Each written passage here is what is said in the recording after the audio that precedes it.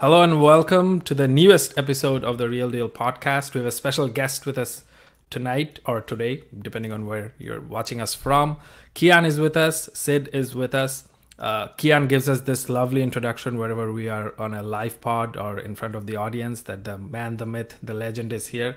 Today, actually, the man, the myth, the legend is here. Kiyan, welcome to the show. And same to you, Sid. Thank you, man. This is awesome. Uh, I'm glad to be a part of this. I always love when I don't have to host because it's just less work. I can just chill and sit in and talk, and that's it. I don't have to like have the pressure of hosting. So, thanks for taking on that responsibility today, Mehdi. Thank you so much. Uh, well, today's episode is gonna be a lot of it is going to be about Kiyan's journey as a football journalist, uh, the challenges he has faced, the things that he has enjoyed the most, and all those nice things. So let's get into that.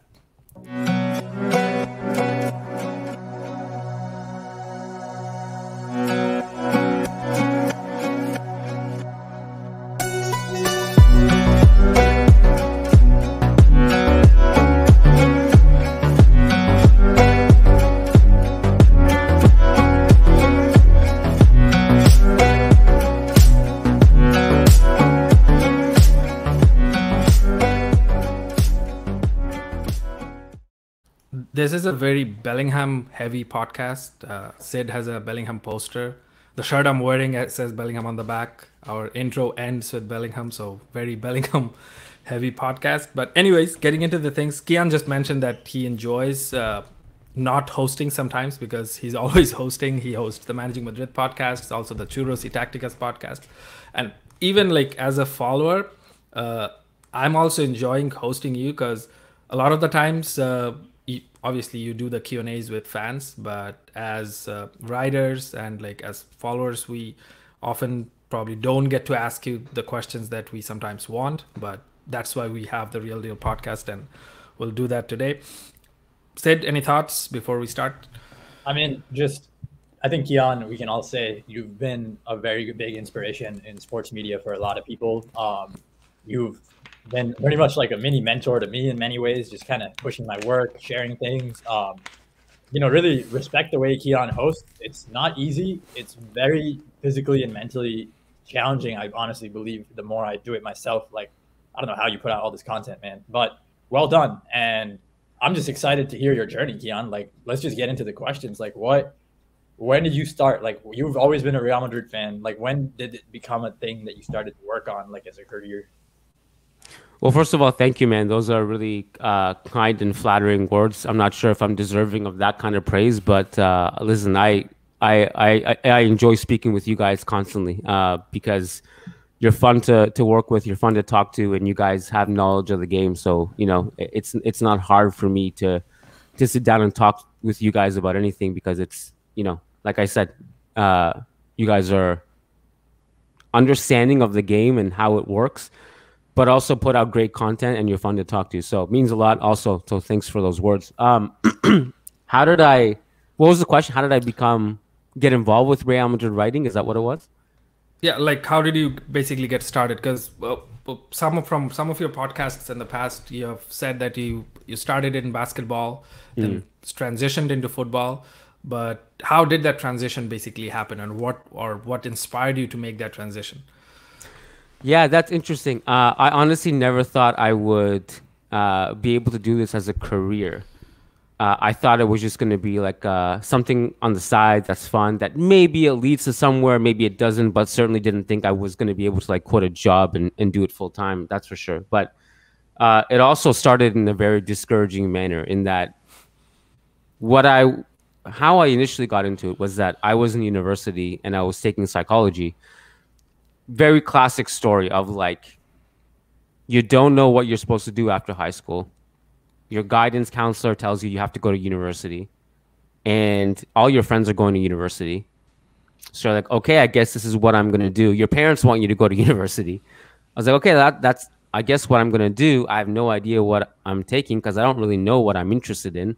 So you take on psych. I took psychology, and with psychology, like you can picture it. Like, what are you gonna do with psychology, really? Um,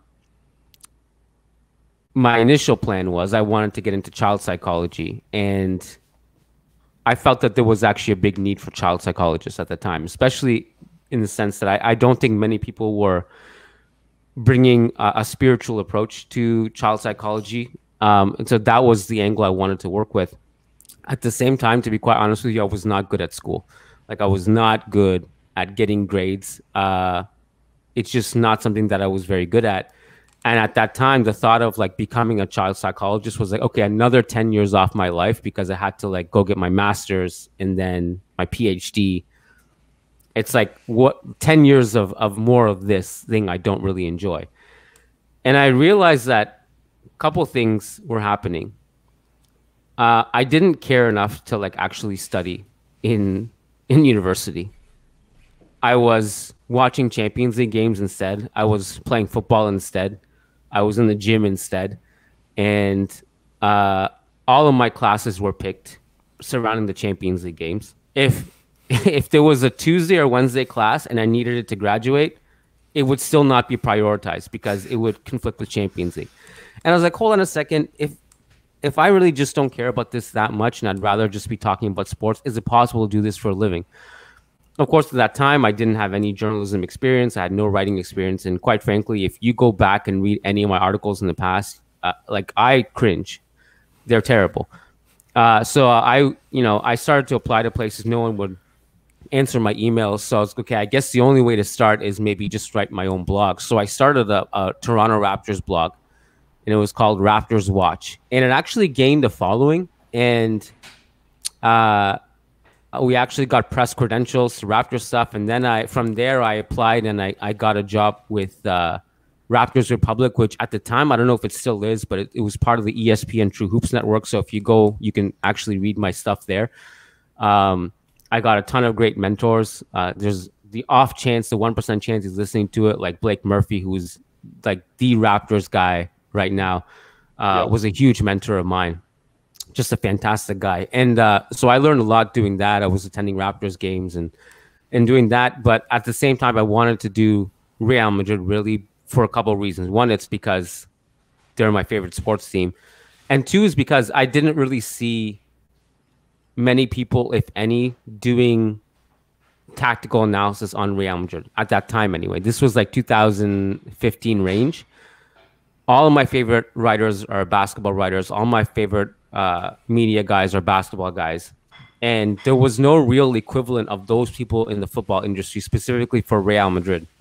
And that's kind of the niche I wanted to fill. So I remember, I remember, I actually sent Lucas Navarrete an email, like this overly complicated, overly unnecessarily um, lengthy email. It was like, you know, this is my resume, this is what I'm gonna do. And he, he emailed me back. He was like, hey man, I think you're overqualified. I for for this this place. I think uh, you know we can't pay you. And I was like, it's okay. I'll I'll do it for free.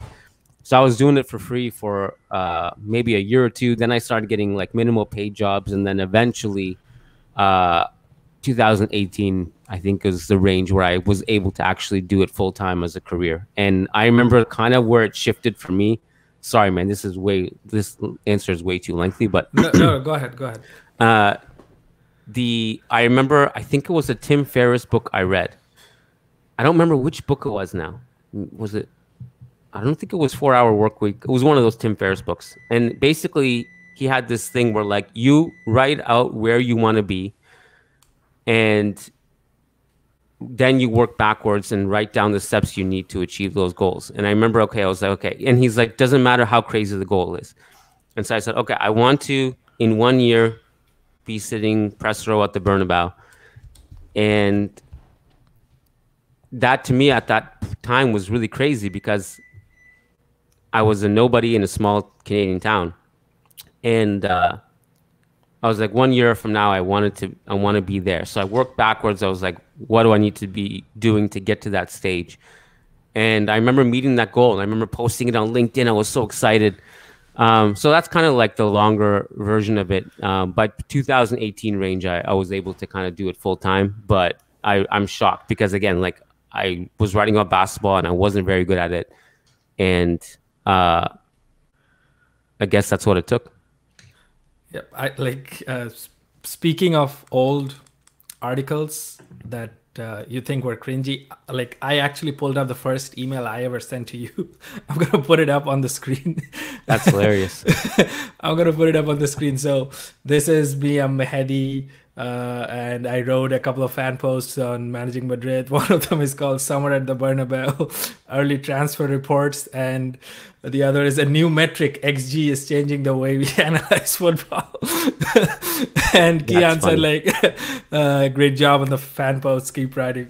Uh, so yeah, it's it's it's been at that time I didn't know that I'm gonna be like hosting you guys on a podcast someday. But uh, I I, I think I think you're well. a great example too. I mean, like that, like reading that email I sent to you, that might have been discouraging. I don't know. To be quite honest, I don't even answer emails anymore. It's, and I'm not gloating about it. And I don't feel proud about saying that because I, I really wish I could. But I get so many emails like that all the time, yeah. Mehedi. Uh, but I think your growth is tremendous too. Like I've been, you know, obviously following it for quite some time, and uh, everything with the with Madrid Betar you started. I mean, I you filled a void also for Bengali speaking Madridistas and people in Bangladesh, but also like you, I don't think anyone's doing Real visuals like you uh, especially so quickly after the game. I mean, Yash does great work too. We all know Yash Thakur, um, and he's doing great work for both that and, and for the men's side and femenino. But it's it's you know proud to like have you guys both on managing Madrid. But I, your growth has been tremendous too, Mehedi. Thanks, thanks, Kiyan. Thanks. That that means a lot. Uh, we actually have a question regarding the first time you walked into the Bernabeu. Uh, so the first time you went to the Bernabeu, was it as press or was it as a fan? And also, if Sid, you had a had a question regarding that as well. Yeah, let's start there. Let's start with the your first time going to the Bernabeu, first few visits. What was it like versus expectations? Yeah, uh, the first time I went was uh, not for a game. It was as a fan doing the stadium tour thing um, years ago before I became a journalist, and that was like a shocking experience because it's like, wow, you're finally here. It's like you don't really realize the magnitude of something until you see it in person. I find um, this is a really weird example, but I went to the Taj Mahal once, and when you see or, or like Grand Canyon, both of these examples work. You, I saw, I've seen pictures of the Taj Mahal and the Grand Canyon, and you're like, okay, obviously like this really amazing thing that's huge. Both of those things, when I saw them in person, I was just like overwhelmed by how massive they were and the magnitude of their beauty and their complexity. I felt that way about the Bernabeu, even though it's not nearly on the level of the Grand Canyon and and uh, the Taj Mahal. But I kind of just looked up. I was like, "Wow, this is where it all happens." It was such a an amazing experience for me. But the first time I went to an actual game was as a journalist. Although I've been to, I did a few of those U.S. preseason tours when I was a kid. Went back in like the Galactico days. I saw those in person, but not meaningful games but it was a game against Malaga, a 1 1 draw, I think, where Isco got booed because he was over dribbling. And I, that was as press, it wasn't as a, as a fan. And uh, I just remember being so nervous and anxious because they don't like no one cares. Like no one gives you a briefing of like this is where you go. This is the door you enter. This is who you talk to. This is how to behave.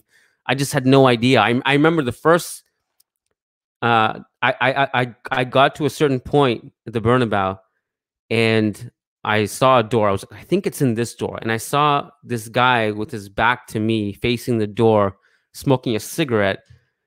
And I was like, uh, I thought it was a security guy. I was, hey, is this the press area?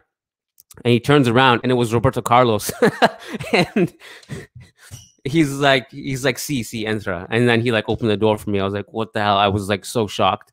And uh, so, you know, I remember little things like that. But uh, that was my first game 1 1 Malaga, I think 2016, I want to say, something like that. Uh, that was my first experience, man. Yeah. Damn, go over dribbling. Sid, what would you do if you like see someone like if you're at the Bernabeu and you see Marcelo smoking a cigarette and you ask him for directions?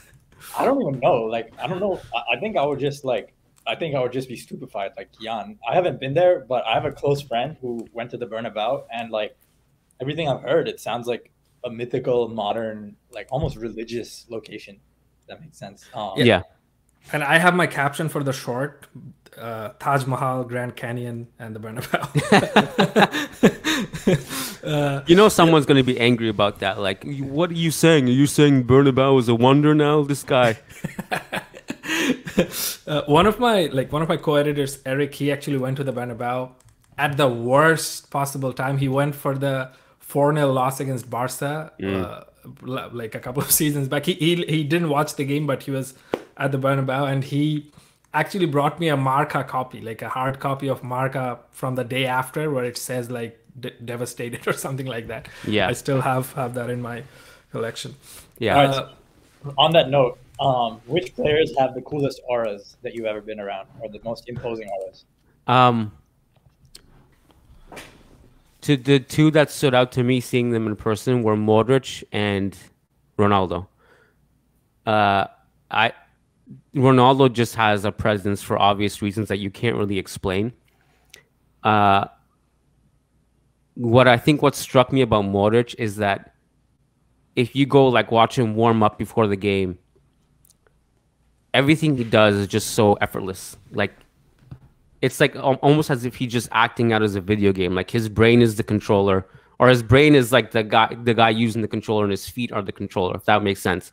Like everything is so effortless. Like you you know like when those videos of Steph Curry before a game warming up, where he's shooting threes from crazy angles and going through his routine. It's kind of like that because like he's taking he's doing these drills with the whole team where you know they're setting up shots for him. He's shooting from outside the box. They're going like top right corner, top right corner, top right corner, top left corner.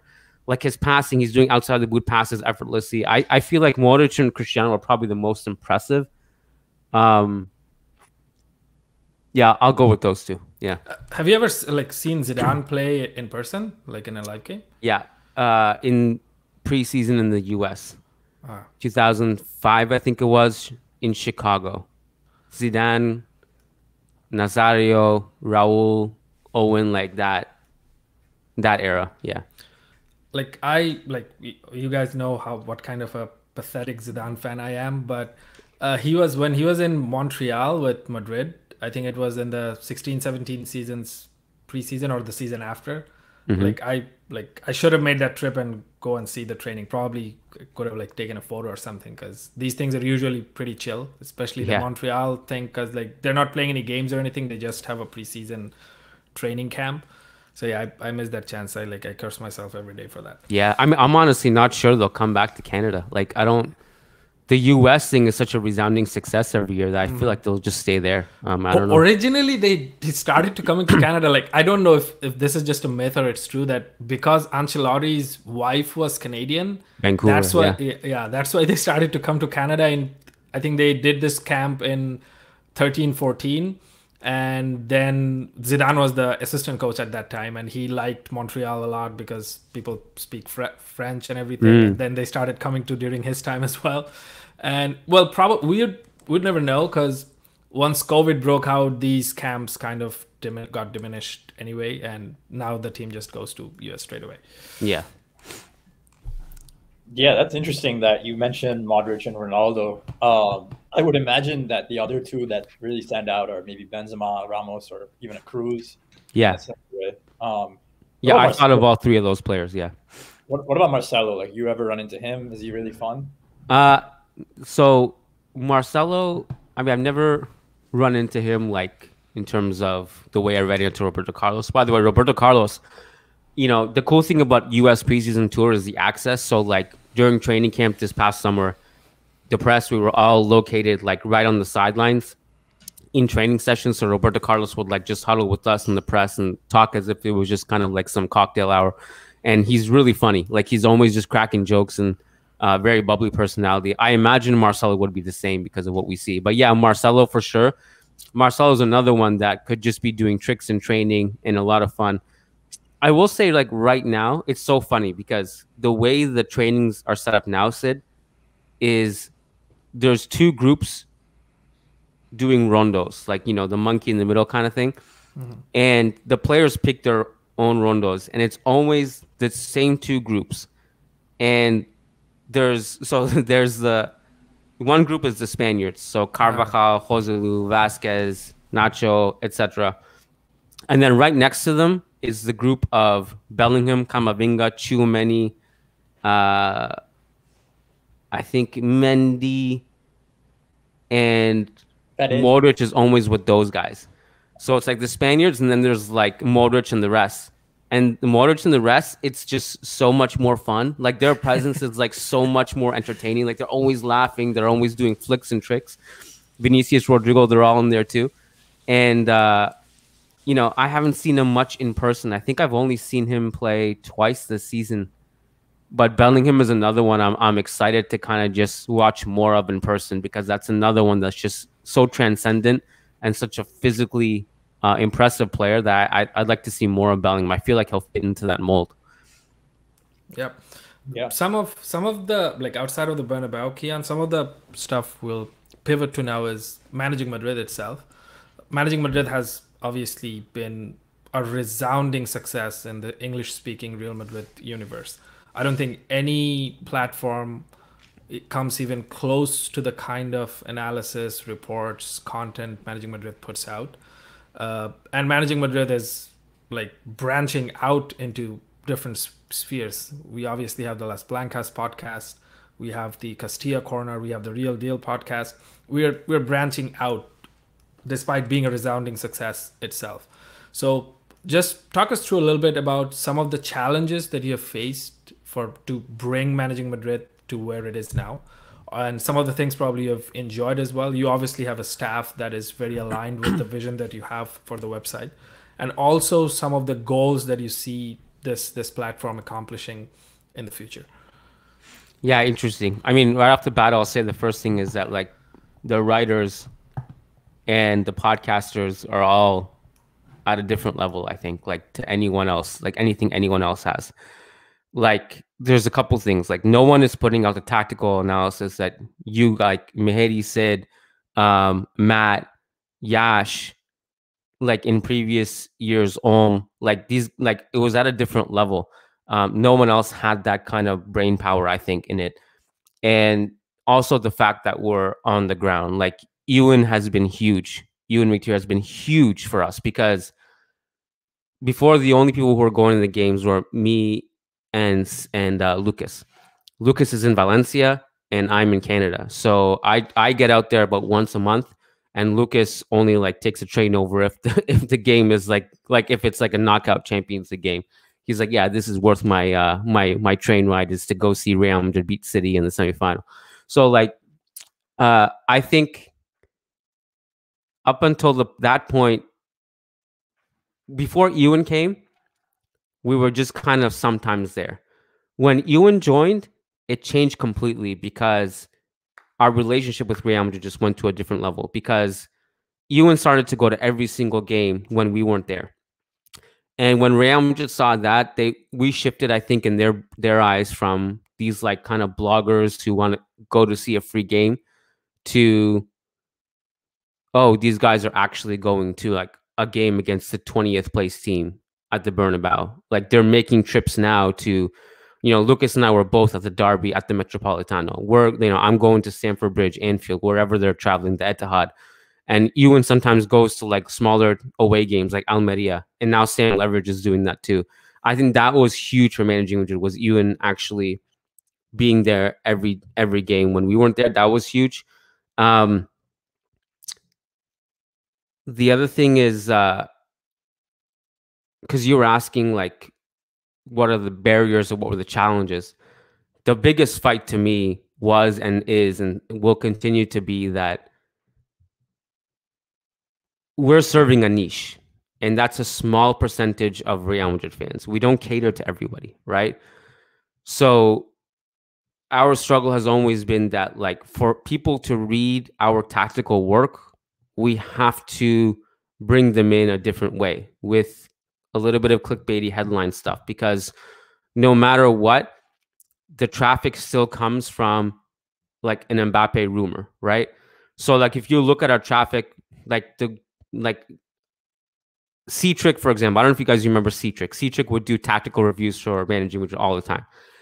And he would put so much work into those reviews, like go over film data. It would take him like a couple days to write nonstop, and he would publish it.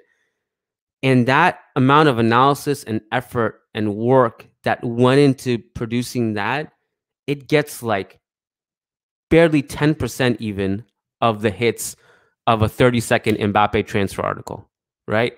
And that's always been the challenge. It's like, how do we get those people to care about this stuff? And it's a, it's one of those battles that I've, I've, I've started to accept. Like, you can't really win.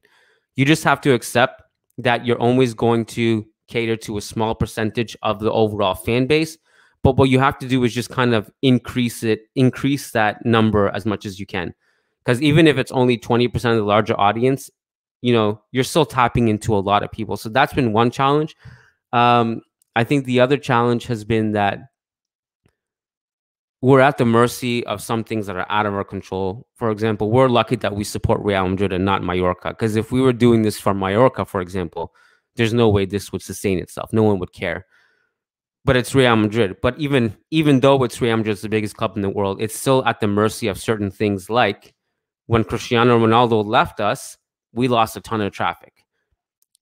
And the Juventus blog on SB Nation gained all of those exact. I think I can't remember the exact number, but it was this amount of views per month. Managing Madrid lost. The Juventus blog gained. So like people just jumped ship, right? And now you see it like with him and Al Nassr. It's it's it's just constantly a thing. So we're also at the mercy of like how many stars do we have? If Mbappe joins it, I think it'll be great for us in terms of the podcast. Um, so we're also at the mercy of like all this stuff that happens to to this day. You remember? Uh, I think Sid was there. Mehdi wasn't, but Sid, you remember that day last summer we did an emergency Mbappe rejected us podcast. It was me, you, Jose, and Matt. To this day, that was the highest traffic podcast we've ever done. And it was because a superstar rejected us and it wasn't because of like a Champions League triumph. like it was crazy. Uh, so, you know, those things like that are always eye opening to me that like, you know, you know, tactics aren't interesting to everybody. Um, so you always have to like, that's, that's always a battle you're fighting. Yeah. Just adding my two cents to this. Like, I just got a question this morning on the Twitter feed, like, do you think we'll get Mbappe? What's your opinion? And it's like yeah. one question I've spent more time answering than any other for three years, probably in a row now. Going back to 2020, honestly, I wrote about it in the article in 2020. So, and honestly, like, I, it's impressive, and I, I relate because like when I was I started being like a LeBron and Cleveland fan in 2016, but I wasn't a Cleveland fan. I was a LeBron fan. It, yeah. There's a big difference, and um, as soon as he went to the Lakers, I unfollowed all the Cavs beat writers and followed all. and I was just like, I don't care anymore about the Cavs. Like I was reading the Cavs writers, I'm like, you all just sound salty. You lost LeBron. Like, um, so I think that phenomenon is fascinating. It's um, like marketing is always interesting. It's the flashy big names that get people to pay attention to things first, and then obviously as their awareness evolves, they get into things like tactics. But I fully agree, and um, that's why we've been a little clickbaity in some of our headlines, and we probably will talk about like you have to long- be. Yeah, yeah. You have to be. You have to be. Like that's the thing. Like I, that's why I actually my view on clickbait is a little bit different. I think with the most conventional um, belief behind it, where people think it's evil. I think it to a certain extent it's necessary because like, I'll go back to the C-Trick um, stuff that C-Trick put out. If you call that tactical review, um, it's just not going to get as many hits. But you have to like put a different spin on it. You have to, no matter how great your article is, it goes to waste if nobody clicks on it. So you have to bring people in somehow. So you have to have a little bit of clickbait in there, and I'm okay with it. Uh, obviously, there are there are lines that other publications will cross that I don't agree with. But I mean, generally speaking, you have to clickbait a little bit. Yeah, yeah. And so we're excited to have you on for the Mbappe episode next week. Um, yeah. scheduled podcast every week. Yeah. Mbappe. If yeah, four hour Mondays at 5 p.m. Are you guys good? yeah.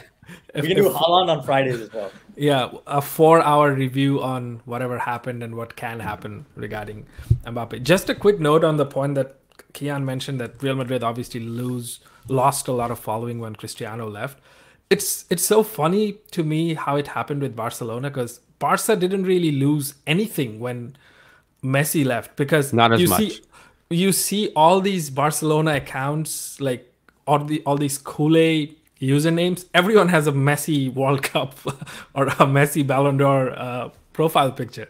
So that that didn't really happen with Real, Real Madrid. Like when Ronaldo went, some of the people just became Juventus fans forever, and then United fans forever, and then Al Nassr fans forever. But uh, Barcelona is like in, in lucky in that regard, as they are in a lot of the ways. Because I was just speaking with Sid offline about obviously the terrible injury that Gavi sustained uh, during the international break. Uh, the ACL is just the worst that can happen to a player. Uh, he's the eighth La Liga player, I think, who ruptured their ACL. And I was just talking to Sid, like the other seven players combined didn't get as much attention as Gavi did. Barcelona's PR, I've all like always said, I've never like felt I've always felt like an envy towards it. I think it's impressive how they how they market their club. It's it's really impressive. Uh, yeah. I mean, yeah. on the note, just asking Kiyan, like, do you have any thoughts on this emotional, like, cult emotional feeling that Barcelona has created with Cruyff, Ajax, Messi, um, Argentina, maybe to some degree, not not to the same degree, but like, what are your thoughts on like that? All the emotions that fuel that Real Madrid's PR, and like, I think you're a big part of bringing Real Madrid's public relations forward. Like, there's a type of thought leader who reads about tactics in sports that only is interested in these things. And um, I feel like that fan originally was brought to Barcelona because of all the marketing around their triangles and their tiki taka. I mean, their marketing got to the point where like there were conspiracy theories saying their passing networks are like maps telling drug traffickers how to like traffic drugs. like, that's propaganda, man. So, any thoughts yeah. on the whole Real Madrid Barcelona dynamic, propaganda, marketing? I I I think the Barca the Barca side of it, like all that PR with the Cruyff stuff and the way they play football, I think it's pure delusion. I think they've been brainwashed to believe this in like in the most ridiculous way. And I love Diego, but he knows I would say this to his face too. I think it's they're purely deluded in this aspect of we have to play a certain way and it's their way of coping with all of Real Madrid's titles. I think it's their way of telling themselves, "Oh, it's okay. Let's pat ourselves on the back. It's not our fault. We're playing the right way. They're playing the evil way." I, I honestly think like if if Johan Cruyff had like said publicly like, "Hey guys, we're gonna drink this Kool Aid, mass suicide," I think they would all do it. They're that brainwashed in their philosophies of like, this is the way we must play. It's and this is the way how we play. They played that way like once or twice in their entire history. If you go back and look at Johan Cruyff, the coach, when he was coaching Barca, it was disgusting football. Like th- this is Eduardo Alvarez wrote about this. You can go back watch it, the 1980 Copa del Rey final, I think it was, which they beat us. It was they were in a low block. They had like no possession we were just hammering away, hammering away, trying to beat the low block, and they were kicking the shit out of us. That was what Johan Cruyff was like as a manager. And then years later, like it, there's a bit of a revisionist history with him and his philosophy and stuff. He had some ideas, but like Barca played that stereotypical way like a few times in their history, and it was contingent on generational talent being able to get them there in any other era when they don't have that kind of talent they can't do that. Like they they tried to do that against teams that were better than them and then got smoked. Whether it was bayern who have been just destroying them for decades or like you know you look at all these champions league eliminations whereas our philosophy has always been we cater to our superstars and we are not hell bent on playing one way. We're hell bent on winning, and that's always been the biggest difference. If Barcelona had that mentality, I'm kind of glad they don't because that's the reason why they're not as successful in Europe because they can't shapeshift the way we do. They don't have the mentality that we do. They just want to play a certain way, and the problem is when you want to play a certain way and impose your will against teams that are better than you, you just can't do it. You're going to get smoked. And so I'm kind of glad, but I, to me, it's just pure delusion and it's cope. It's their way of coping with not being as good as us in Europe. It's their, it's the story they tell themselves.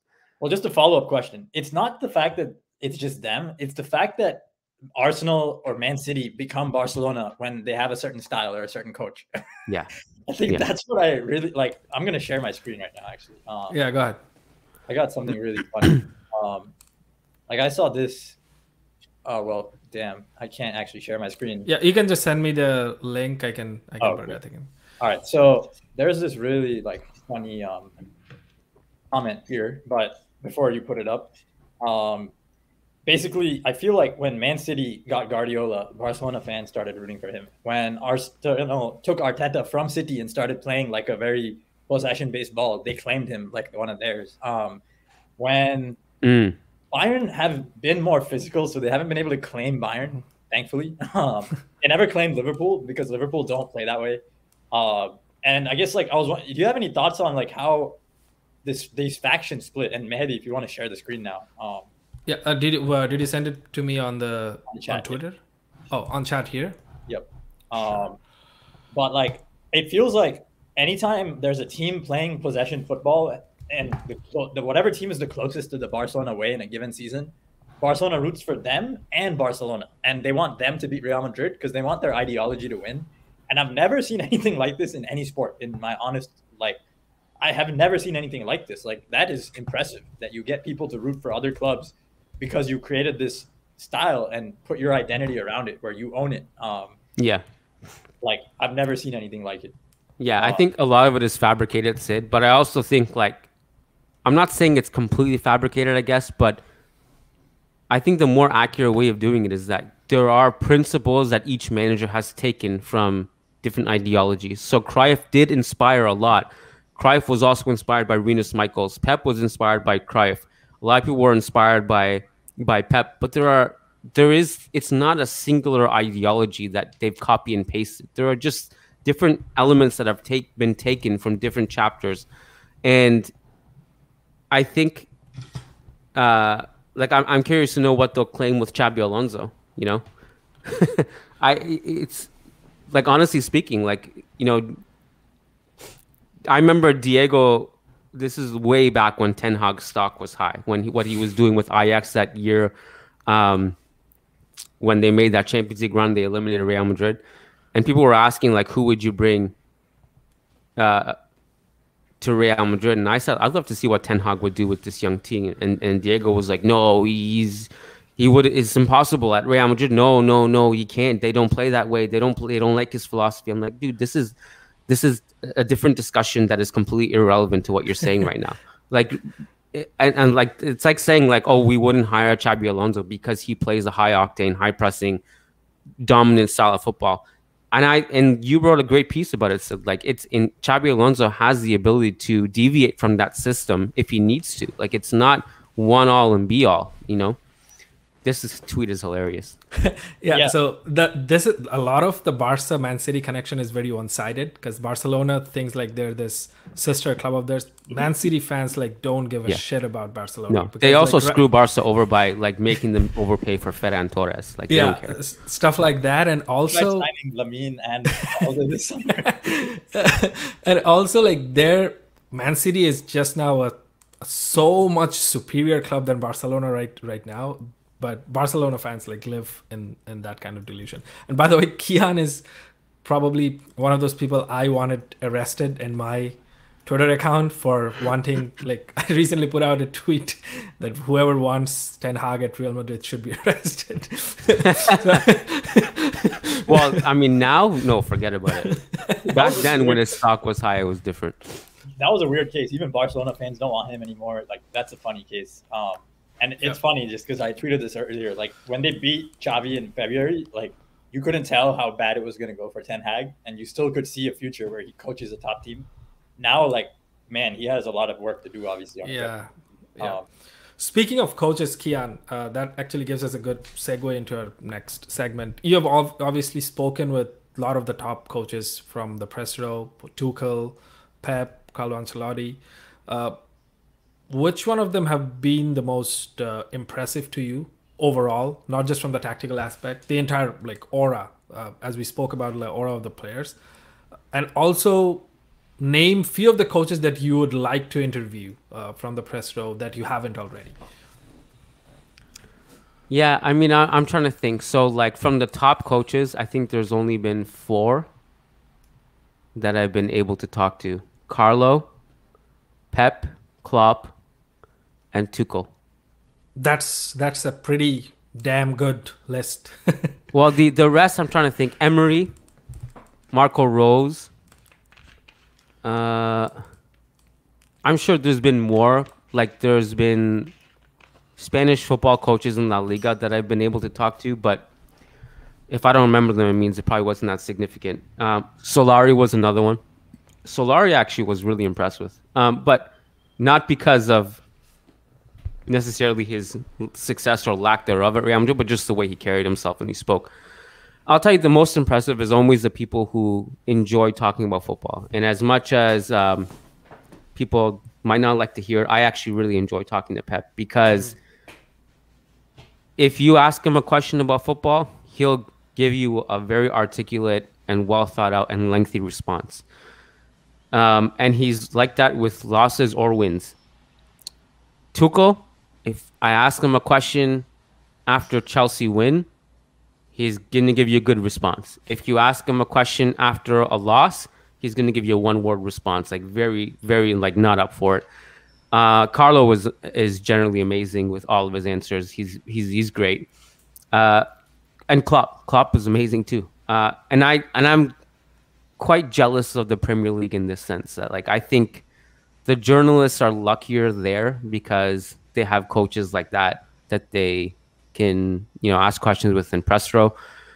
And I feel like in in La Liga it's a little bit more restricted. You know, we're not allowed to ask questions every game. You know, we're allowed to ask questions if it's a Champions League game or a U.S. preseason tour, sometimes in the Clasico. But if if it's just uh, you know a, a, regular league game, it's the seven predetermined uh, people who get to ask questions, and it goes in order, and it, goes you know Marca, Cadena Ser, Cadena COPE, etc. Um, so the access is just better in the Premier League, which is you know something I'm jealous of. I, I feel like we don't have that in La Liga as much. Yeah, what do you think of La Liga's overall marketing? Like, is it something that's disappointed you over the years? Because Real have really almost perfect marketing. Barca, as we established, have a cult of religious followers from the Church of Barcelona, and um, yeah, yeah. What do you think of La Liga's marketing overall? Do you think like I see a league that could be as almost as big as the Premier League if they made some tweaks, yeah. but often doesn't? What do you see? Yeah, I, I agree. I think it's being carried by Real Madrid and Barcelona in large part. Obviously, Atletico's obviously done really well too in the last decade or so. Other than that, you know, it's not, it's not, it doesn't have the PR machine that the Premier League has. I think you we, we've discussed it with you guys before. Like the Premier League just looks better for whatever reason yeah. on TV. The colors are brighter. Yeah. The commentators are are more engaging. I'm sorry, I, I actually really like guys at La Liga TV, but they're kind of monotone a little bit in their in the way they they present themselves. Um, ESPN a little bit less monotone, but they have their own things that we get frustrated about that they say. But there's no Carragher and Richards and Henry like doing it for La Liga. Yeah, and uh, we do have ex players, but they're not they're not I guess as charismatic in, in that sense, or they're not as fun. Spanish, maybe not as much in English. Yeah, I mean like uh I guess people, some people will get Guti on the zone. Like we don't have that. I guess maybe in Spain you do. I don't know. That seems like a cool, cool person to have post game or whatever. But uh, yeah, anyways, that's not even that's not even the main problem. I I think it's. I think, Sid, I'm curious to know what you think of this, but I feel like the path eventually is that.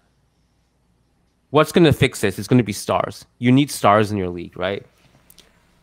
So Real Madrid and Barcelona and sometimes Atletico are the ones who have the stars. It's between three teams. Sometimes even a really, really good La Liga team who doesn't have stars, no one's going to care about. Back when I was growing up, you know, Valencia had people like Mendieta and Aimar. Deportivo had people like Roy Makaay, Diego Tristan, Manuel Pablo, Mauro Silva. Um, you know, Real Sociedad had like Xabi Alonso, Mallorca had Samuel Eto'o for for a brief time. Like they, the other teams had stars. That's not really the case anymore. But there is a path, and it's kind of like unfortunate, I guess, the way you'd have to go down to fix that. Almeria, for example, has a really rich owner. If he was allowed to spend and the salary cap rules were not as strict, he could turn Almeria into like a Newcastle if he wanted to. Mm-hmm. I just wonder if that's the path eventually. I don't know. I feel like it has to go down that route, unless you really want to keep it strict and you're really worried about um, the sustainability of the spending. Like you don't want to have another Malaga situation. I feel like that's the inevitable path that they're gonna have to go down if they want to compete with Premier League. Yeah, or Super League forms and La Liga teams get cut out Yeah. one or the other. Yeah, I, I agree. Um, I don't know which way they go, only because um, I think La Liga has taken the stance that if all, the rest of football is unsustainable, we're not going to be like that, which I Yeah. respect. But if they're wrong and the rest of football just keeps getting bailed out, if there's always going to be more money pouring in, if no club goes float, La Liga is just shooting themselves in the foot instead of taking on venture capital. Um, so yeah, that that's how I see it. And truth be told, it could go either way. There could be a world where Man City, Chelsea get relegated, Premier League gets outed for some huge financial fraud, maybe. But I really don't expect that to happen. Let's be honest. Yeah. Like, it's going to get bigger every year. Um, Yeah. so yeah, we need our own Newcastle as soon as possible for sure. it's it's also I think the language and cultural barrier does play a part because obviously Kiyan and Diego hosted Andrea Orlandi uh, a couple of weeks back. It was a fantastic podcast, and there are more people like Orlandi who probably have the same kind of knowledge, same kind of aura about them, but they just don't speak uh, English as as fantastically as uh, Andrea Orlandi does. So probably to bring them into the broadcast world is a bit difficult. Not difficult in the in the Spanish universe, obviously, but to cater to the English speaking audience, it's a little bit difficult. I think that that is a barrier that people will have to figure out how they get get past that. Yeah. Uh, Orlandi is great, and but I, I think also like it's kind of hard to find the people who are also entertaining inter- and also smart. Like I know that people like get annoyed with people like Micah Richards, for example. I think he's fantastic. I just think he's entertaining. Like Yeah. it's the same reason. Like the, in my opinion, the greatest media team in all of sports is the TNT crew with Shaq and Charles Barkley and Kenny and uh Chuck. Chuck. No, the um the the smart what the moderator guy.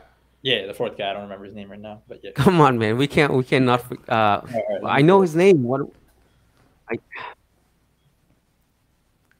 Um, this is driving me nuts.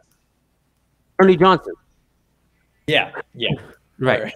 There I think. That, and, and like, look, the analysis is not always great, but man, it's so fun to watch them talk, and it's so fun to see the banter. It's so fun to to see Charles Barkley fall into the trap of getting himself in that's what she said jokes and Shaq trying not to laugh in the corner.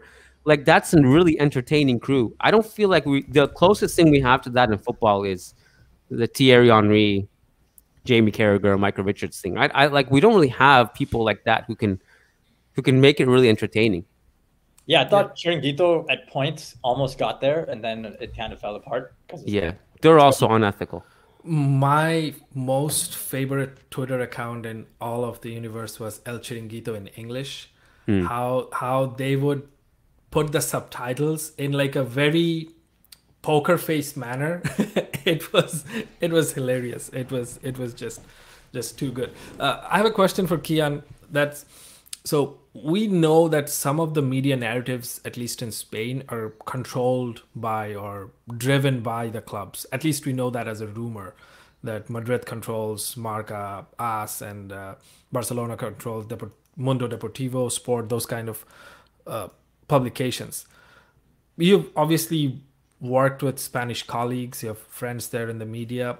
How much it, how much of it is actually what it seems like? Is are the clubs actually driving that much narratives, or it's much lower level, at a much lower level than what we actually think? No, I think they do. Um, I want something that was eye opening to me was this past summer because like I, I've learned a lot, and I like it. What look, I think it's also true that like we don't really have like a Wojnarowski, or or I mean Fabrizio is the closest one to that. and he's not. Um, he's more of a personality now, right? Yeah, exactly. Um, so I don't think there's like this one like in basketball. I feel like there are a group of people like if they say something, it's pretty accurate. Yeah, Like it's there's- pretty good chance, right? There's ten people who run the NBA. Yeah. Yeah. Like Like I don't think we have ten people in football like that. Um, not for like one league anyway. Maybe if you put all the leagues together, you could put together 10 people, but still not to that level of like 100% accuracy, basically. Yeah. Uh, so like for the longest time, it was like you really basically just turn a blind eye to like 80% of the stuff that's being written in the Spanish press and, you know, take it with a grain of salt. But I also do know that, you know, there's the one guy at Marca in particular who gets spoon fed and writes whether it's true or not it's basically just mouthpiece. Like this is what you're Mm-hmm. writing today. Something that was eye-opening to me in the us was that one person one of the media members showed me we were talking about mbappe of course and this person showed me their whatsapp with florentino Wow. and they were like, "Okay, well, let's see what Florentino said." Uh, yeah, we are not there. We have never contacted Mbappe this summer. We're not going to. Uh, if he if he like shows interest and contacts us, we'll we'll explore it. But this is why I don't think Mbappe is coming. And like they they showed me the Florentino WhatsApp, and I was like, "Oh shit!" And I was like, "So so how many people have access to Florentino like that?" And this person told me about five uh, and they listed the five to me, and I was like, okay. So I kind of just made a mental note. I was like, okay, so I'll, I guess I'll, cons- I'll, I'll take these five seriously, and the rest not as seriously.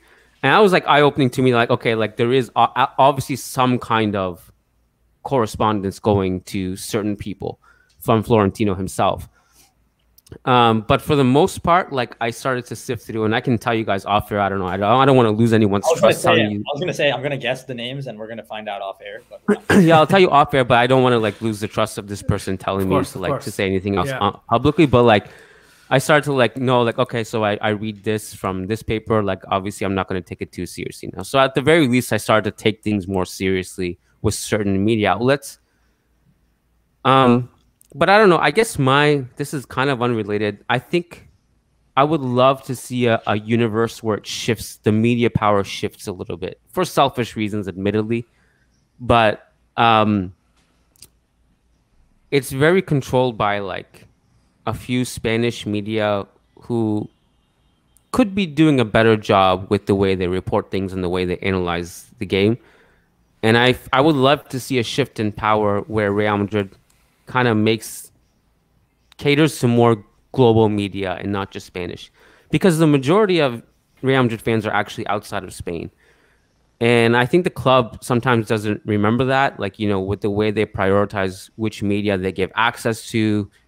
And a lot of these media have actually also turned their back on the club and went at them. And, and it doesn't seem to have stifled the relationship as much, you know. I remember like there was the one guy, this one drove me nuts the most. Remember when Zidane was there? And I think I will take this to my grave.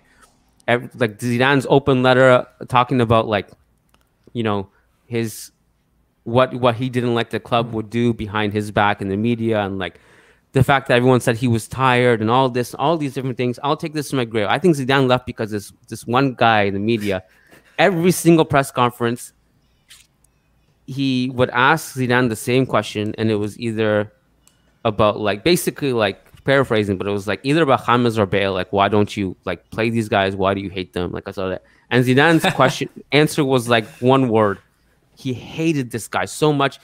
And you probably know who I'm talking about, Mehdi, because you because like a couple years later, this same journalist approached Zidane in the, street with a camera and a mic, and Zidane oh, I yeah, yeah, yeah. and I, Zidane I knew was what you were like, talking about. "Dude, you, I'm not on the clock anymore. Like, get the fuck away from me. Like, I don't like you." He, And he should have like taken the microphone like Ronaldo did and like thrown it into the river or something. like, I would not have blamed him if he did that. And like, and still without clockwork, like like clockwork, the club would prioritize this guy who Zidane himself hated. They would prioritize this guy to ask questions instead of some other guys who would actually ask some useful questions about football. And I remember speaking to one of the Real Madrid PR guys about this. I was like, dude, like you know, we are not going to ask this stupid question. And you know that we're not going to piss off our dear coach like this. So why why is it like this? And he said, I know, I agree with you, but it's predetermined and it's politics and it's out of our control.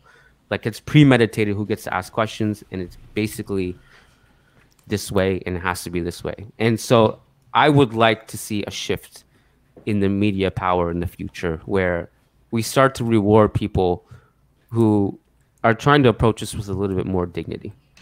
Yeah, it's weird because we our branding is so modern in like 80, 90% of aspects, like the colors, the hmm. players, the the way we market the players to other uh, global audiences. But the that one aspect is definitely something missing. I think generally and something over the last five years since Ronaldo left, I think there's been so many so much uncertainty over what's going on in the higher offices. Um, and you know what you said about Zidane, that's very illuminating. I didn't realize that like they let one dude keep asking the same questions, and I just looked him up. Not too hard to find out who it is. Um, Yeah. that's crazy. Well, and it, and it wasn't about him. It was about who he worked for, and that's the they have to prioritize that Spanish media outlet basically.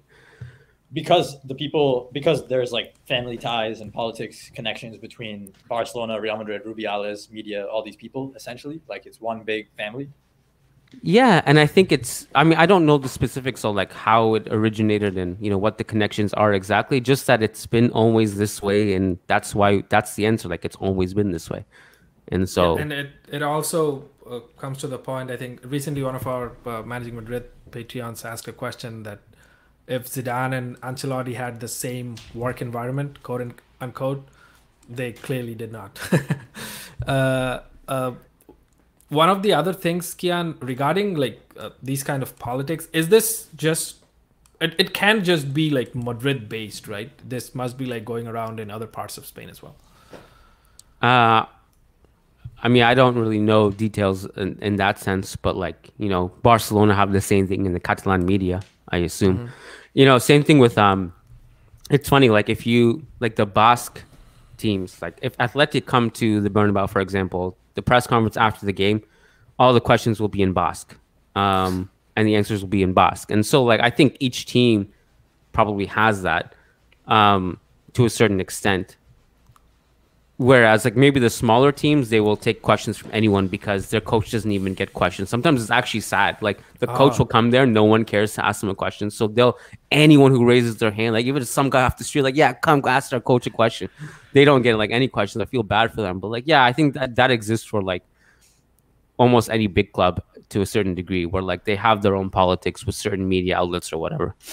and it has become a little bit bland i think because i i only like found this clip recently uh, it was during the Mourinho i think it was during Mourinho's last season i wasn't on, I, I don't think i was on on twitter even and i was obviously not watching real madrid press conferences at that time i'm pretty sure both of you guys know uh, know the about this it, thing that happened where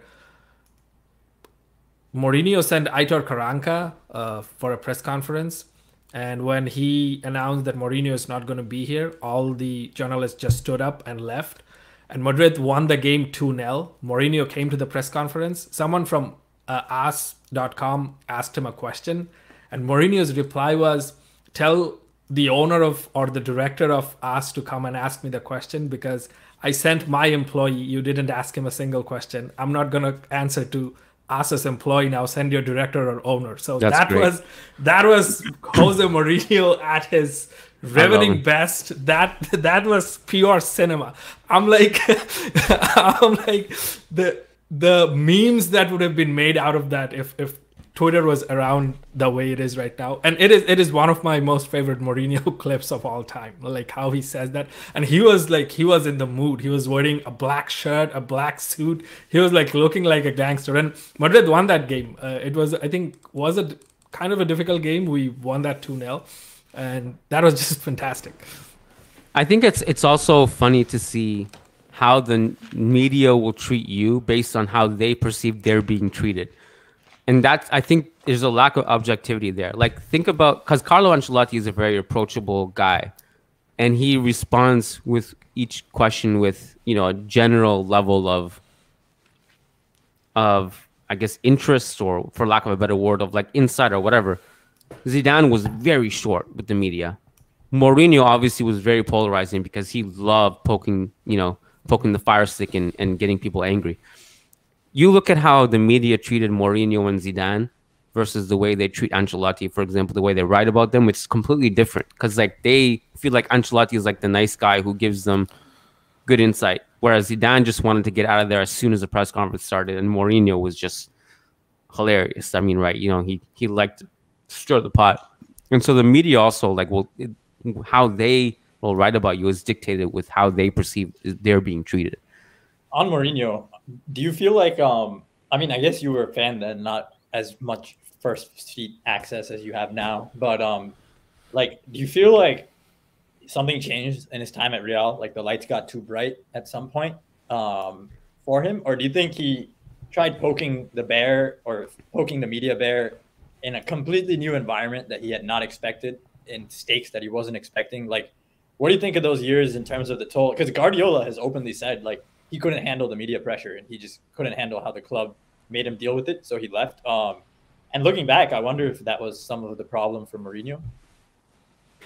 Yeah, I mean, I think uh, the Guardiola aspect too is interesting, even though it's not directly related, because there's a great book by Paolo Condo, Italian football journalist who who followed Pep and Mourinho around during that peak Classico era, those three years. and uh, there's a lot in there about Pep was Pep was literally drained from the psychological warfare with Mourinho. Like he he was sick of it. He couldn't handle it. Like it affected his mental health. He hated the fact that he had to like think of like something to say in response to Mourinho every time, and he didn't know what to say. In this room, you're the king.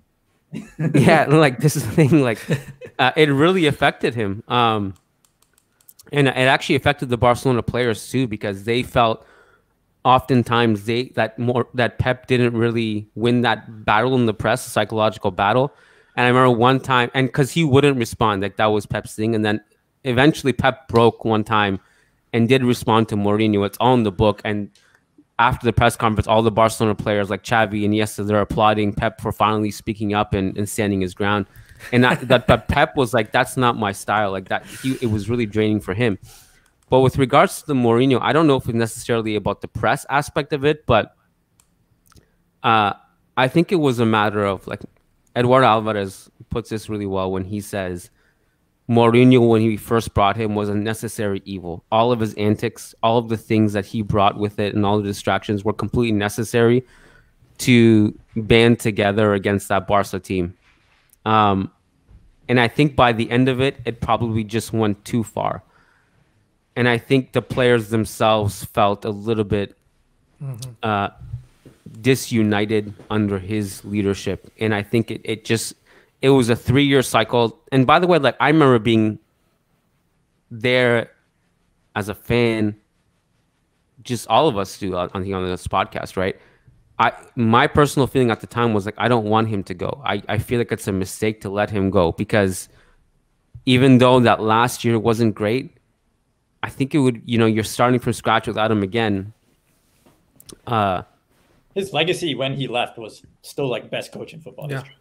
When he left, at that moment, like Guardiola was trying to rival him and arguably going to eclipse him, but he was right there with anyone. He had won trophies everywhere. So I, I was there. Like 12 13 was my first season, and I was stoked to hear we had this legendary coach. And then when I heard about the fallout with the players, I was confused because it was such a novel thing at that time for Jose Mourinho to not be completely successful.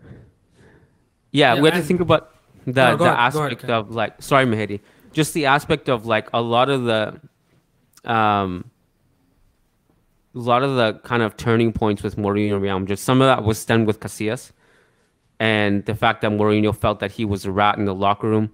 Uh, he has that thing where he comes in. Jerzy Dudek has a has a, something in his book about where Jerzy Dudek, who I always forget is a Real Madrid player, was a Real Madrid player. Uh, but he was in the locker room one day, and he writes his, writes about it in this in his book, where Mourinho comes in, and he freaks out at everyone about the rat in the locker room. He starts pointing a finger at like a bunch of people in the locker room, and he says, "Was it you, Granero? Was it you?" And like he points to everyone in the locker room, and it just like that was like a bit of a starting point of this the vibes are just not great anymore. Like it's yeah. it that brotherhood that existed. Um, there was just a chaos that ensued with with Mourinho there by the end of it, and the team just wasn't as bought in, and the brotherhood was lost.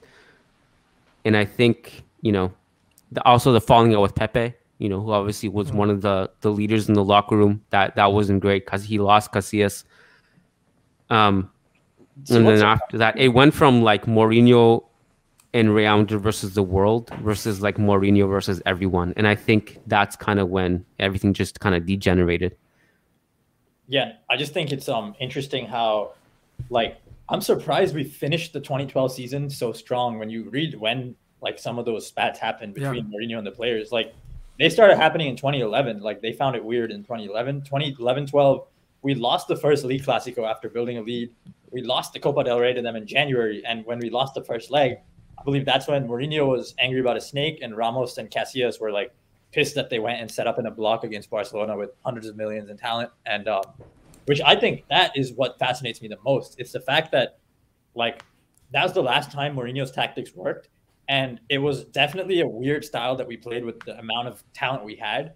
And I can see why it was hard to convince Ramos, Hmm. Ronaldo, like, yo, be humble, like defend, like don't don't go and take the game to these guys. They're way too good technically. And um, but that and it's impressive that they closed out and won the league on 100 points, beat Barcelona at the Nou Camp after that incident. I think it's pretty crazy, actually. Yeah, I mean, I think that's the- go ahead. Oh, Will. go ahead, go ahead, go ahead, go ahead. No, I'll quickly say just like I think that's the impressive thing is like everyone talks about Barca, that Barca team being the greatest team of all time. And man, you know, for being the greatest team of all time, you know, they lost league titles to us in that in that era. Uh, you know, we were breaking records and I'm not I'm not gonna necessarily dispute it because I think that Barca team was amazing. But I think that it was impressive that Mourinho came in, and you think about even after the 2009 summer that we had, bringing all those superstars, you know, it wasn't until Mourinho came that we we we took it to another level. And just to what you said, Sid, about the frustration of playing that low block. You remember that scene, that clip? I'm sure that you guys have seen where Ronaldo is pressing Barca by himself in the Bernabeu, and he just throws his hands in the air. He's just so frustrated. Like, definitely, man, that affects you when you're a player as good as Ronaldo, and that's what you're doing all game is chasing shadows. It's got to be frustrating. Yeah. Mourinho was the guy that I felt the most, you know, connected to as a Real Madrid fan. As like, I'm gonna go to war for this guy, even as a fan. i like, with all the great coaches that we had over the years, even including Zidane and Carlo, I don't think I've ever felt as strong as about someone as I did for Mourinho. So he he had that theatrics about him. Also, the incident where like he came to uh, came to the dugout 40 minutes earlier so that the crowd boos him for 40 minutes and then that doesn't boo the uh, boo the team. I think it was before a Madrid derby or something. So Mourinho had those moments where he would do something so preposterous, so dramatic, uh, people will automatically sub- give him that attention. So that that was that was just great about him. Um, Yeah. A couple of penultimate questions before any of you have Mehdi. I just wanted to ask: low, worst moment as a Real Madrid fan and best moment. First, with start with worst though. Uh, worst three come to mind. Uh, I was at that 4 1 loss against Ajax, and it was a nightmare. It was horrible to sit through. It felt like I've never been to Amsterdam, but I imagine I felt like that's what Amsterdam is. Like, it was just Ajax fans everywhere in the stadium, in the streets, singing and partying Yeah. uh, and it was just a t- tough loss to sit through. Uh, the Luis Figo penalty miss in 2003 against Juve, my heart was broken. I thought that we could have beat Milan in the final, or at least reached that final and had a historic game against Milan. Uh, and the third one is I'm probably this is actually number one is the penalty shootout versus Bayern in 2012, which was still by far the most heartbreaking moment of my life. Yeah, that those all make sense. Then what's the Yeah. best? Do you guys have many outside that list? Um, mine was 4-0 against Barcelona in 2015 November because like I started after the penalty like penalty shootout. I knew what was going on, but I wasn't like the day-to-day invested person I was the following season. And so Yeah. yeah, we talked about it on our first episode. Mine was 20 the 4-0 against Barcelona was under Benitez was by far the worst. Yeah, yeah Yeah. for me uh, like as we spoke about this in the first episode as well uh, the 4-0 against liverpool in 2008 Mm. was was Yep. brutal the 5-0 against barcelona affected me a, a lot because i was finally thinking okay Mourinho is here because i've been following Mourinho even during his chelsea days as well So I was like, okay, finally the Barcelona curse is over. Mourinho is not gonna let us lose this badly against Barcelona. And first Clasico, we get thrashed by five 0 mm. Unknown players from Barcelona score against us. That was pretty bad. And also the one you mentioned, the penalty shootout against Bayern was brutal. But the loss against Dortmund, where Ramos and Casillas cry, uh, in 2013, where one more goal would have taken us to the final. Mourinho's last season, that was pretty, pretty, pretty brutal too. Mm, yeah, those are all great shouts uh, and terrible to think about again. Uh, best moments, I'd go. I mean, I I don't know what the specific moment is. Like anything that happened in 2002, 22 Champions League run yeah. But I guess specifically, probably Rodrygo's second goal was the peak of like, I don't know, outer body experience. Um, the Ramos's header is number one, 92 48. And if I had to choose one more, I don't know. I remember, I mean, there's been a lot, but I maybe one that's underrated because the trophy wasn't as big. But the Cristiano's header in the Copa del Rey final against Barca was an incredible moment. No, we needed that one. We couldn't like yeah. we had to win one of those four in the 17 days. I'm glad we got yeah. that one. Um, yeah. Yeah. I, I think it's interesting how people of different cultures just briefly have all like you're going through your life randomly, like you have your day-to-day stresses, but then this Real Madrid 2022 happens or that Ramos happens, and we're all brought together by these random moments. I find that fascinating. Yes, someone who's tried disowning my fandom and has come back to it since 2022. I find that fascinating. Um, yeah, so. yeah. what about you yeah. guys? Was there any others? Uh, for me, like number one is obviously 90 to 48. There's there's no questions about it. I actually like uh, in my room that I used to live in Toronto. I now right now I'm in Hamilton, but in Toronto in my room, I didn't have a clock and I like bought the numbers carved in wood 9248 and I had that fit in my wall that this is the only timestamp that's going to be on my wall. no clock in this room. so yeah. 92 92 48 was was pretty big. Uh, apart from that, yeah, a lot of the moments from last like the last Champions League that we won, but even better than Man City was I think Benzema's third goal versus PSG Mm. That was just like that was yeah. that felt personal that we are screwing over PSG like that and they can't do anything about it. But one thing about being a Real Madrid fan is sometimes in some of the games at at a certain point you know that Real Madrid's not going to lose this game. Like when they scored the second when Casemiro scored in Cardiff, you you you kind of knew that no team's going to beat this team now.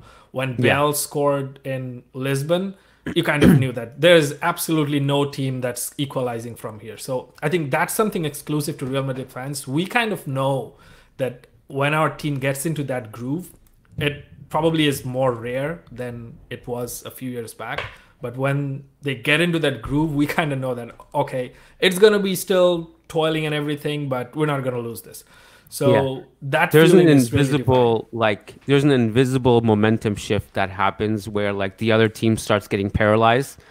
And uh, I think Mikel Merino described it really well last season. He's like something happens in the Bernabeu when you're playing there as an opposing team. When they score, you can just feel it. Like it's you can't describe it, but the fans start getting into it and everything just changes. And you know, the PSG turning point, the city turning point.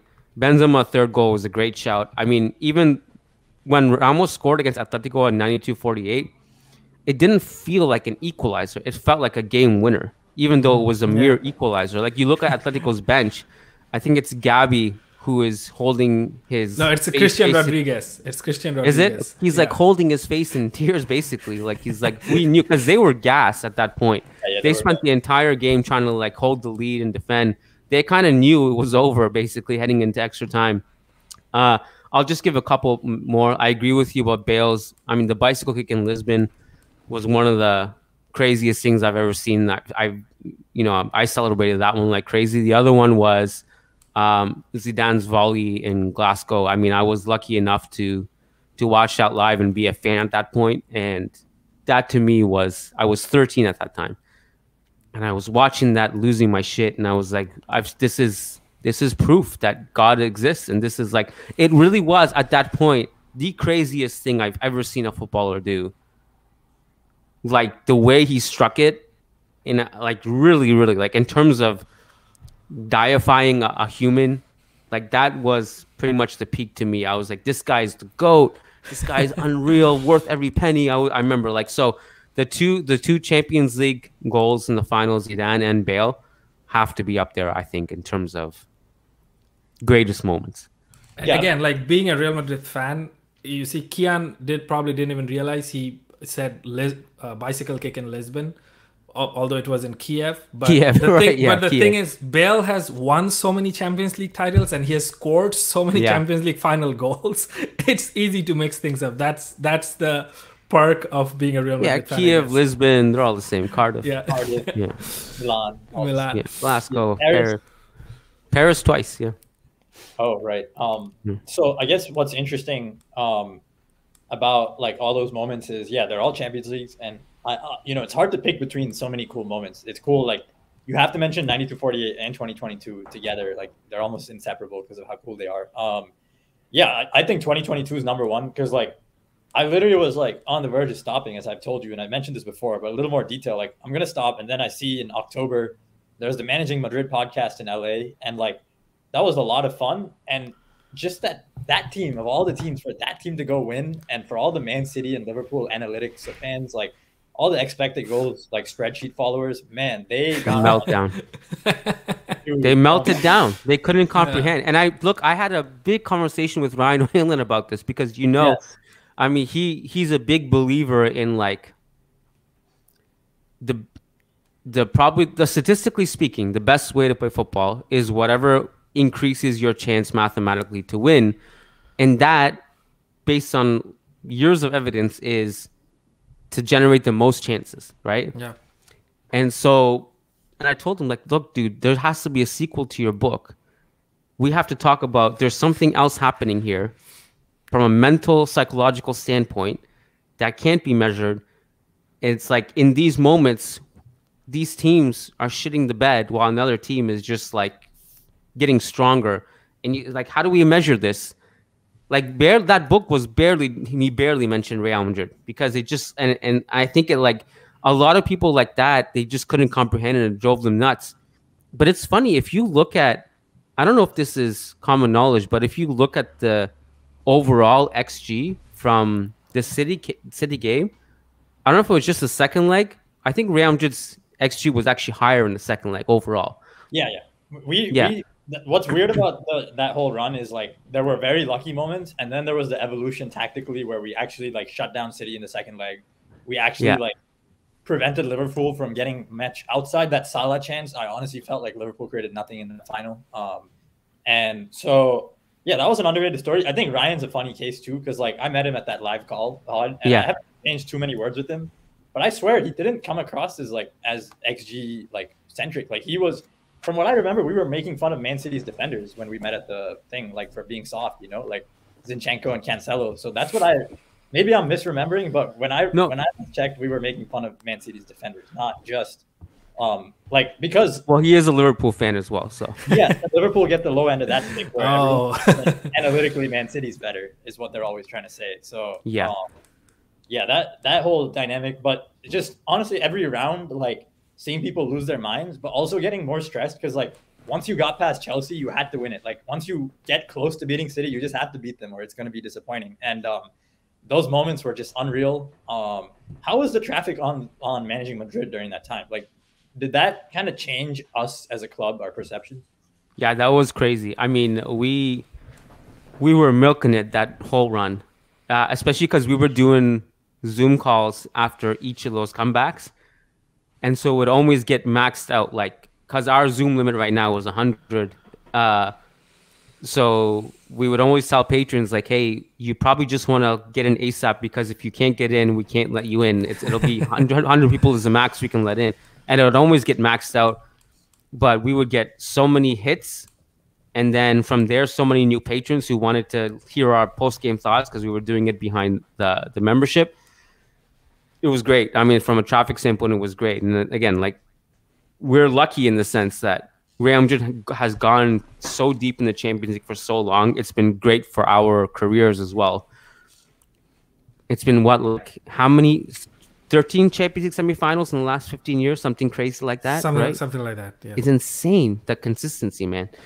And um, I wanted to say something about what you said earlier. I don't know if it was XG related. Yeah, just as like so, like I'm curious to know what your thoughts on this are. So when you look at the fact that Real Madrid's XG was higher in that second leg versus Manchester City, where everyone says City dominated and Real Madrid got lucky. If Real Madrid's XG was higher, what it it, it meant really what it, what it meant was they did all of their damage in a short time span. In that short time span, they were more dominant than City were in the first like 75% of the game. But somehow like we're we're told that like that means they didn't deserve to win. But I look at it a different way. It's very similar like Muhammad Ali, what would he do with all of his experience? He would just absorb, absorb, absorb, absorb, absorb. And then towards the end, he will just unleash carnage. That's what Yeah. we were doing. And like no one goes back and says Muhammad Ali was dominated for 75%. He didn't deserve to win. Like, no, that's Muhammad Ali, the GOAT. Like he had there was a method to the madness. Um I'm not yeah, and I'm not saying like it's like the perfect way to play football. I would rather, you know, we don't dig ourselves a hole. We're always frustrated the way Real Madrid have their first halves, right? But like I feel like the amount of discredit was insane.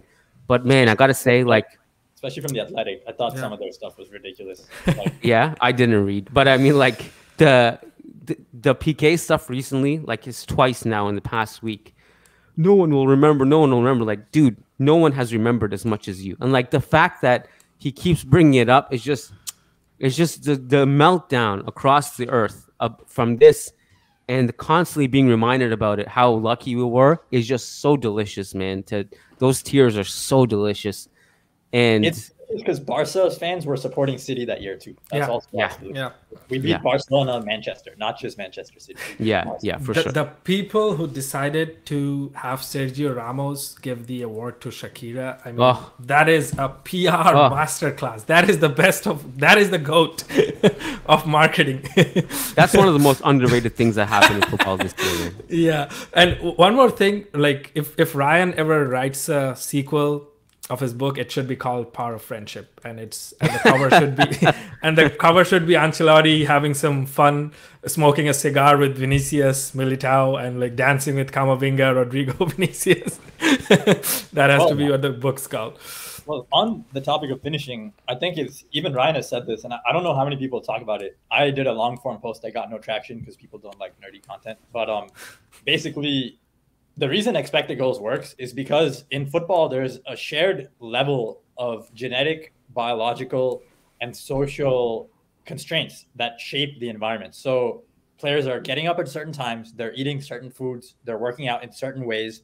They're all consuming pretty homogenized content. Like there isn't as much diversity in terms of like how you think anymore might be a thing. And so expected goals Yeah. is the result of that. It means that Yeah, when you measure it in one league, then you get a like I'm pretty sure Premier League expected goals in La Liga aren't the exact same weights. They have slightly different weights. Season by season, you might get slightly different weights to the models. I'm not sure if that's how it works, but um, definitely you get different weights league to league, and it doesn't work at youth level to the same degree. Like you can measure shots, Hmm. but there's so much more fluctuation in finishing quality. And Ryan said at some point, like we just need to figure out how to quantify finishing. And I think what would be more helpful is also quantifying like last ditch defending a little better, uh, desperate Mhm. defending. But those things are just not known, which is why it's not common. Which is why like Real Madrid will win, and fan, like analysts, some analysts who are behind the curve or still stuck on contemporary paradigms will say, "Hey, they didn't finish." But like if you're ahead of the curve, you have a metric saying, "Hey, like Bale can hit bicycle kicks better than everyone else Mhm. on earth, so you should buy him, and you'll win no matter what XG says." Like there are things like that out there um, that I think will become more common, and I think that season was big for me on a personal level because it helped me see through the bias of XG. I think I became one of those XG people at one point where I started following the game through spreadsheets. So that thrill of seeing the game transcend the spreadsheet, I think, was just essential to the sport. Um, Yeah. And I hope we Correct. see something like that again. Like I, I would love to see like a season where Barcelona, Man City, and Bayern have like the best expected goals in the history of European football, and they lose one by one to us. That would be crazy. Yeah, I think there's one thing, Sid, like that is gonna be as of now, we don't have a way to measure it. Maybe in the future that'll change. Is that the timing of certain events in a football match really matter in terms of the psychological blow that it deals. For example, when we scored the second goal against PSG and almost immediately after scored the third, it was like you can't measure like the timing of that was an absolute like hammer blow for PSG. And then there's moments like when Luka Modric slide tackles Lionel Messi with like perfection in that run. And it was just like there's like a collective like disbelief that was happening to PSG in that moment. Like it- the separation between the two psychological states of both teams going in opposite directions and the timing of how everything was happening it's those things right now are just really hard to measure i think. I don't, I don't know what it is. In basketball at least i think we have some kind of way of, of measuring clutch. Like we have like how players perform in the last four minutes of each game. It's harder to do that in football. But i think there is something happening on a psychological level that is the analytics people just had a really hard time to grapple with during that run. Yep.